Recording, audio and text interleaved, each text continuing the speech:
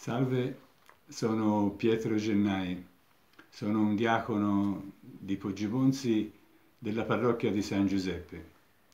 Sono contento di avere l'opportunità di commentare insieme il Vangelo di Luca, al capitolo 10, i primi nove versetti, che ora leggeremo. Dal Vangelo di Luca. Dopo questi fatti il Signore designò altri settantadue e li inviò a due a due davanti a sé in ogni città e luogo dove stava per recarsi. Diceva loro, la messe è abbondante, ma sono pochi gli operai. Pregate dunque il Signore della messe perché mandi operai nella sua messe. Andate, ecco vi mando come agnelli in mezzo a lupi. Non portate borsa, né sacca, né sandali, e non fermatevi a salutare nessuno lungo la strada. In qualunque casa entriate, prima dite pace a questa casa. Se vi sarà un figlio della pace, la vostra pace scenderà su di lui, altrimenti ritornerà su di voi. Restate in quella casa mangiando e bevendo di quello che hanno, perché chi lavora ha diritto alla sua ricompensa non passate da una casa all'altra. Quando entrerete in una città e vi accoglieranno, mangiate quello che vi sarà offerto. Guarite i malati che vi si trovano e dite loro, è vicino a voi il regno di Dio. È importante questo brano del Vangelo perché Gesù dà istruzioni e insegnamenti che valgono per i discepoli di ogni tempo. Dirò alcune cose che mi sembrano più importanti mentre sorvolerò su altre. Inizia il brano. Il Signore designò altri 72. Altri. Perché dice altri? Evidentemente perché c'è già stato un altro invio.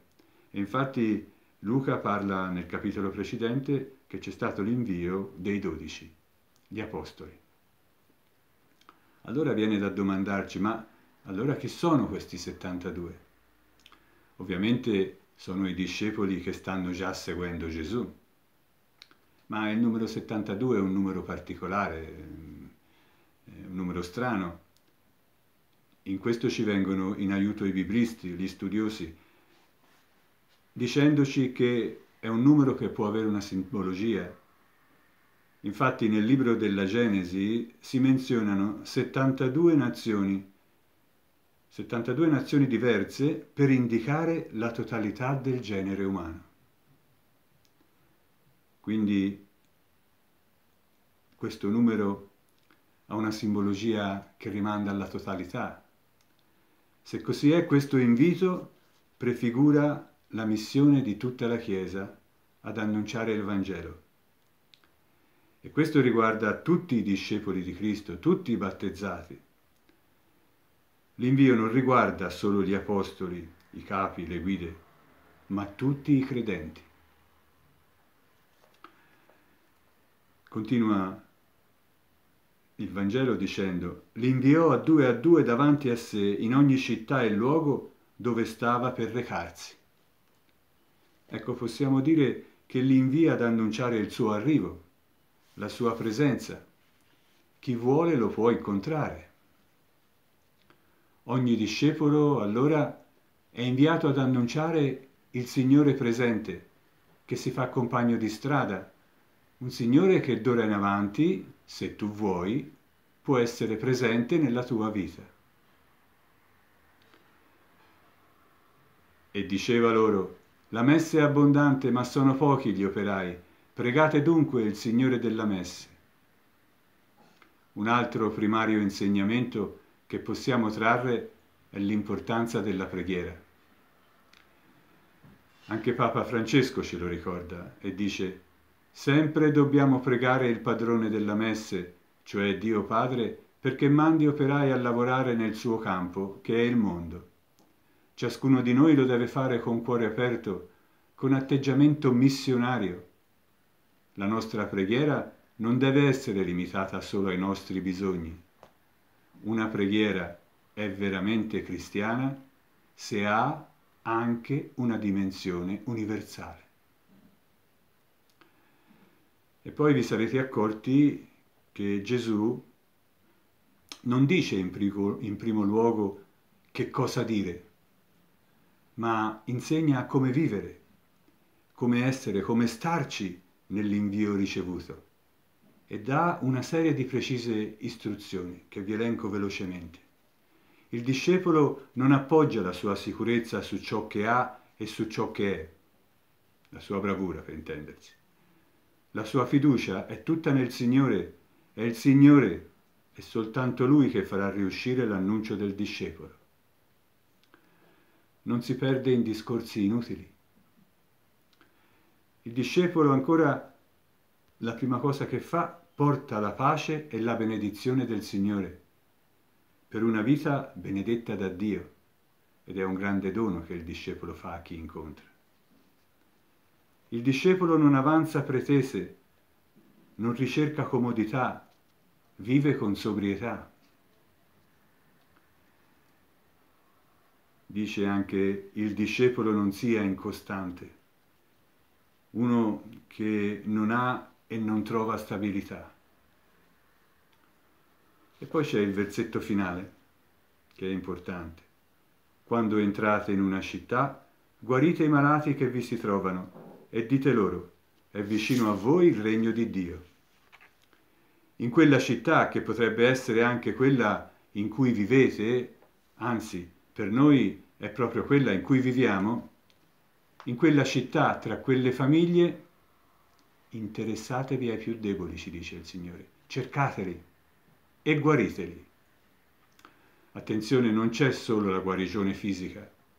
Questo guariteli vuol dire soprattutto fai giungere loro in quella situazione un motivo di speranza. E come si fa? Fagli arrivare al cuore, quindi non agli orecchi con la parola semplicemente, ma al cuore, non sei solo. E cos'è che, che, che, che ci permette di dire questo? È la nostra presenza con la tua presenza accanto a lui, gli dici questo.